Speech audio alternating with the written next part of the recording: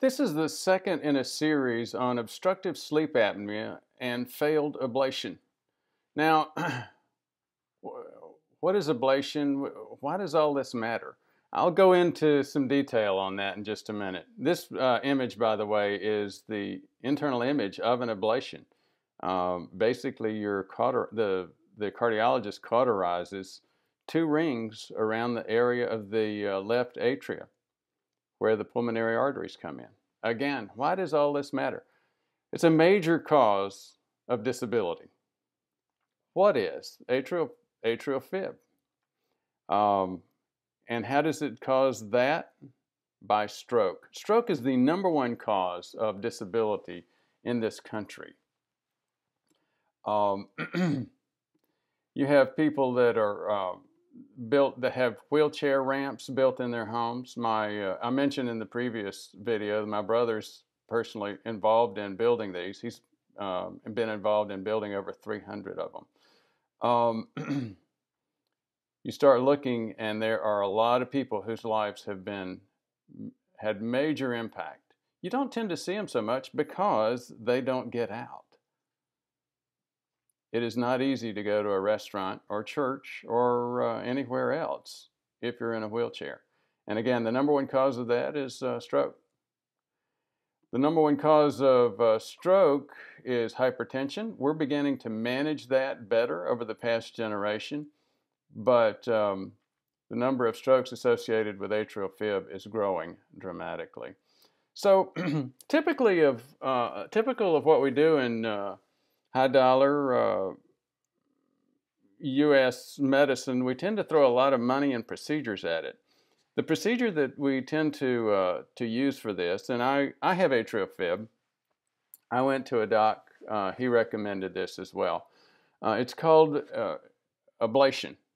Now, what is an ablation? You go in with a, uh, a catheter that has electrodes on it, and you burn the heart tissue in the atrials in the atria right around these uh, areas where the uh, pulmonary uh, veins come in.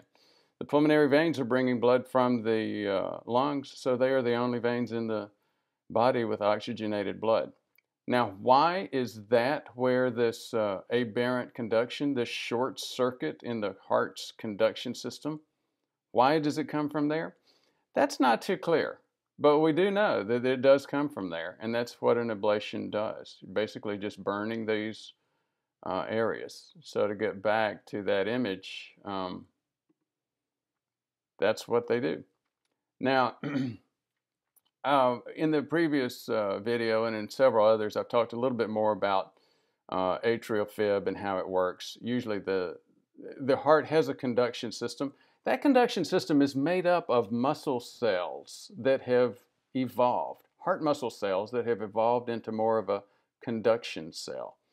So people like uh, me who have the genetics 4q25 risk gene, it appears that our heart muscle cells evolve quicker into a conduction uh, cell.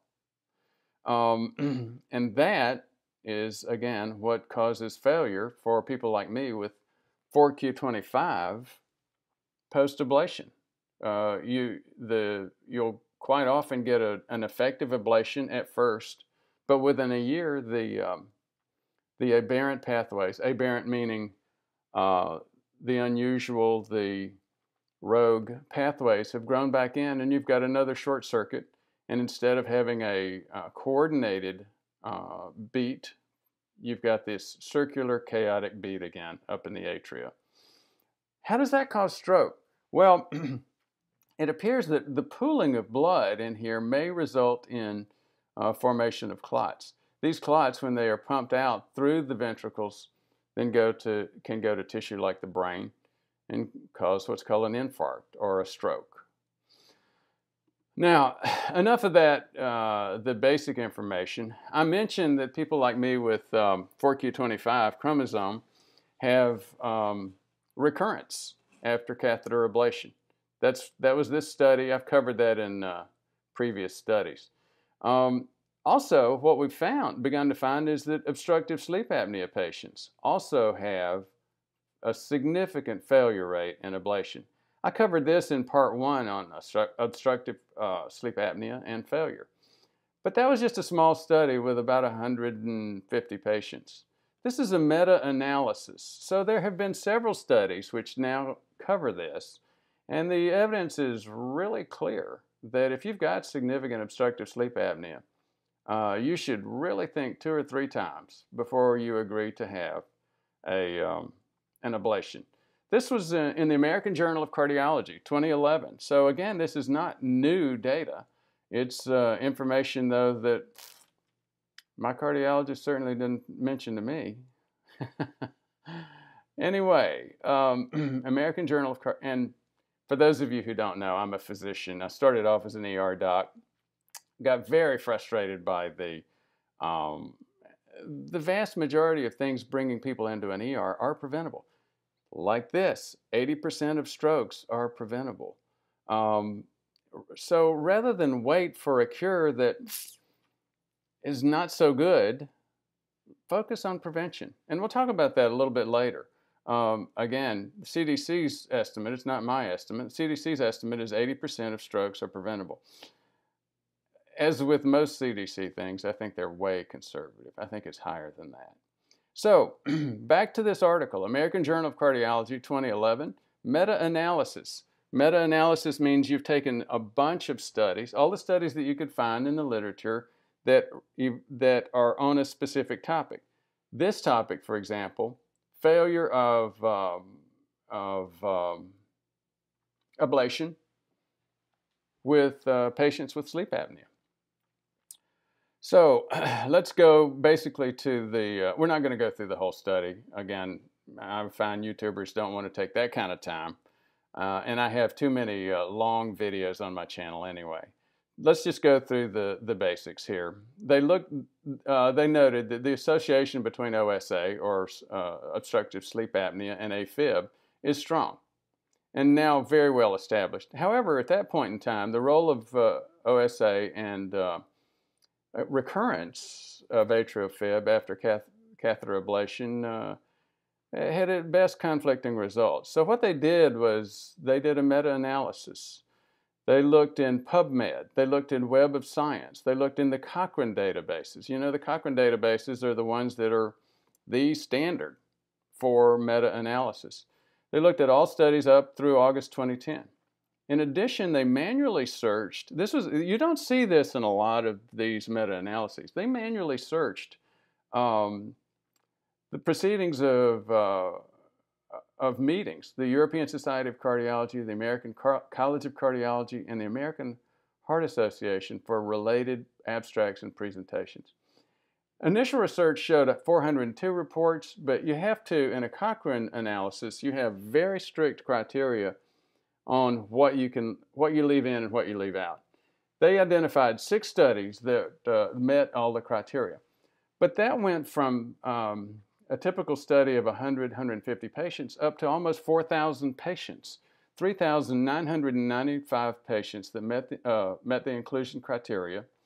Overall, patients with OSA, obstructive uh, sleep apnea, had a 25% greater risk of AFib recurrence after catheter ablation than those without OSA. Now, and so uh, the risk ratio then would be 1.25. One would be the exact ratio. Uh, two, uh, the 0.25 is an additional 25% risk.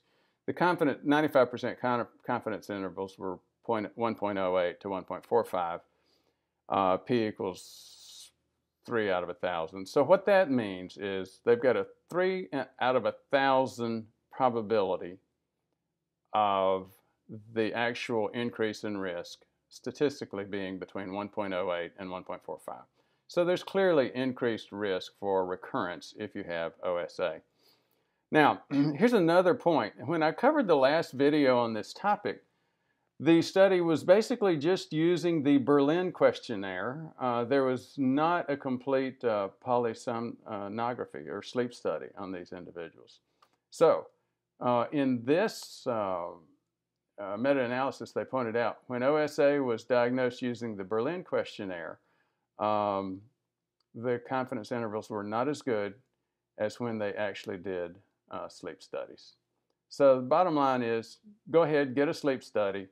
Um, and if you do have significant uh, sleep apnea, just realize if you're going to get the ablation, you're much more likely to have a failure.